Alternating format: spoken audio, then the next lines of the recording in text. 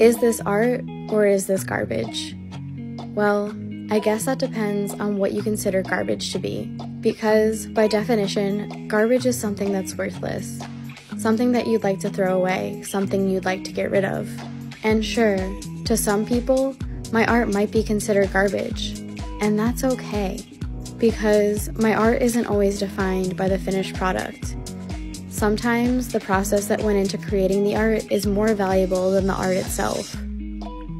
And because art can come in so many different forms, it's important not to be discouraged by negative comments. Because for every person that might find your art unappealing, there's someone that loves it just as much as you do.